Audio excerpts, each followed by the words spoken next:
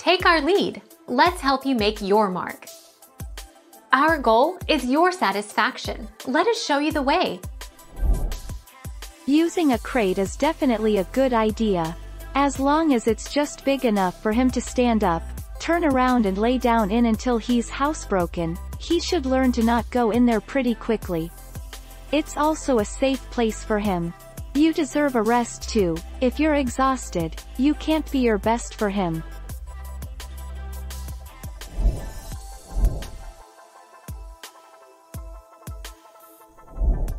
Take our lead.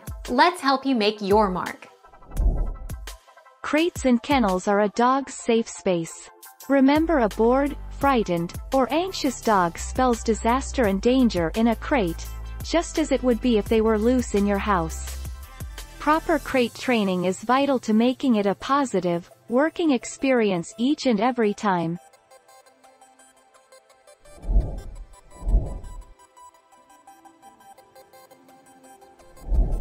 Take our lead. Let's help you make your mark.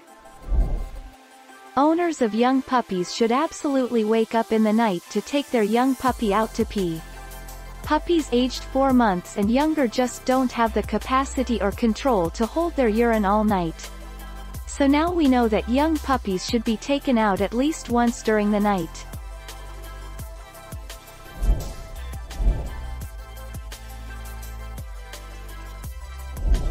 Take our lead.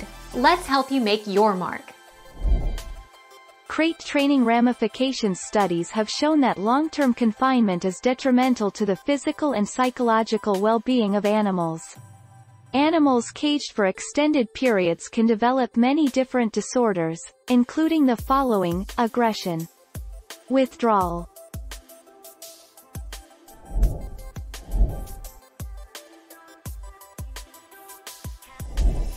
Take our lead. Let's help you make your mark.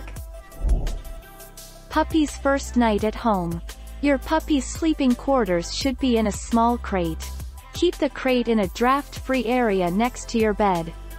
Under no circumstances take the puppy to bed with you. Give the puppy a stuffed dog toy to snuggle with.